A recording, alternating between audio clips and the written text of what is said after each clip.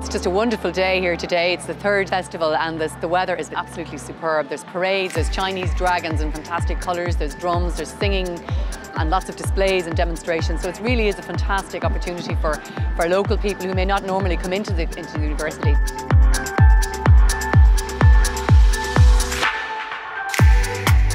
Our presence here today is not only for folks that are here at college already, but also those future scientists and engineers, those little ones that are coming here with mum and dad today. If we can just sow some seeds about how exciting engineering, science, technology is, then our job is done and we'll be really pleased.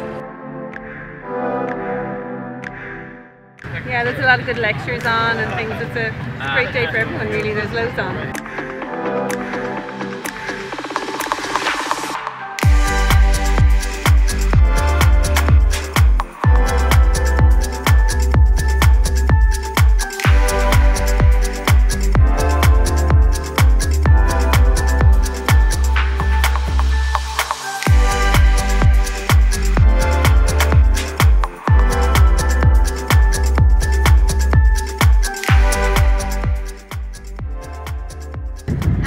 definitely coming back next year.